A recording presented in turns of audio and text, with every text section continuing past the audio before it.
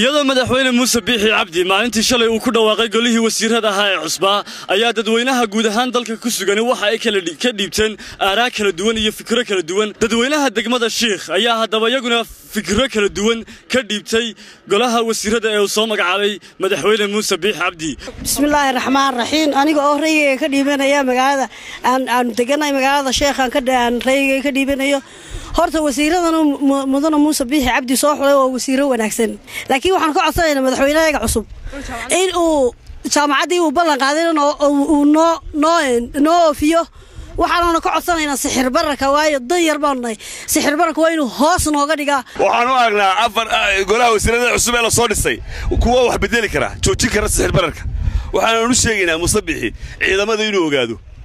Ciidamada inuu ogaado uu hoos u eego. Waayo mushaharka doolarka wuxuu ku marayaa malyan santig wasiiradii hore meesha joogay ayaa haddana dib loogu soo celiyay qaar kale. Marka anbay wasiiradin wada erye ahayd anbay wasiiro cusub soo wada magacaabay ahayd.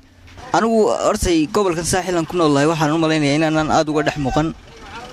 Namay qancin baan leeyahay anugu.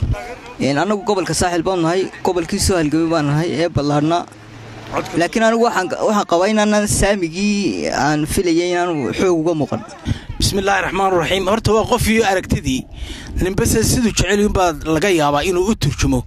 Anigu waxaan u arkaa in mujaahid muuse biixi uu magacaabay wasiiro ku habboon xilka ka soo bixi kara taya leh gaaban ee weliba aan filaya inay isku sanbanaan yihiin aadan jooga degmada sheekh waxaan u hambalyaynayaa aan aad iyo aad ugu taageersanahay siduu mudane muuse biixi u soo magacaabay golihiisa wasiirada.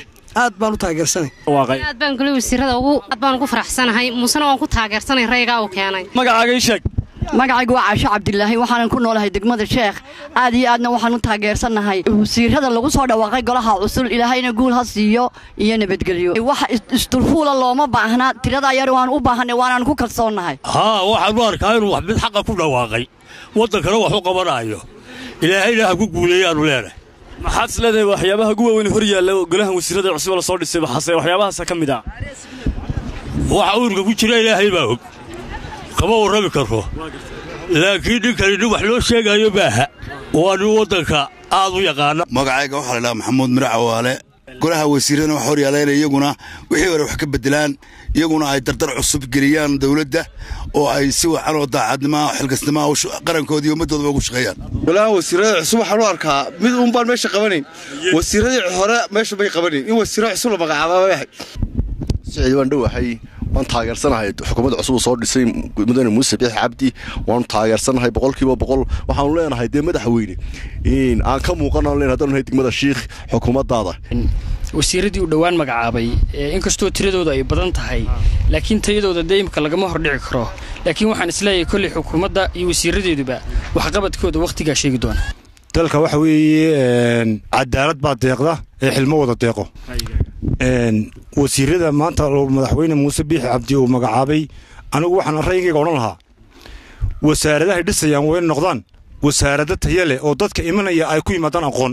Oo aanay nin wasiir walba reerkooda aanu keenin sidii hore u dhici jirtay.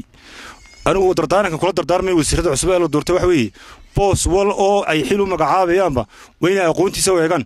Kuna doortaan qofku aqoonta uu leeyahay ee aan lagu dooran hab qabiil amba hab beeleed amba hab reereed rayigayga markaan ka hadlo aniga horta magacayga waxa layidhaha maxamed maxamuud aadan maxamed fayl baa layidhahdaa rayigayga markaan ka hadlo waxa weeyaan xukuumaddii ugu wanaagsanayd waayahay maxamed maxamuud aadan fayl haweenka xagga wasiirada waxaa ku jira laba haween baa ku jira. Marka adigu ma leedahay saamigii saxda ahaa haweenku waa ay heleen. Maadaama ay ahaayeen dadka ugu badnaa xitaa codka dadka yani sida weyn codkooda u dhiibtay. Aad iyo aad baa wax loogu taray waayo haweenku waxa weeye horta waxa lagu talagalay markooda hore guryaha. Marka xagga diinta aynu eegno laakiin ninka keliya iminka laba doortay ee soo ma garanaysaa waa madaxweynaha imka cusub. Siciid axmed tamrayse telefishanka caalamiga star magaalada shiikh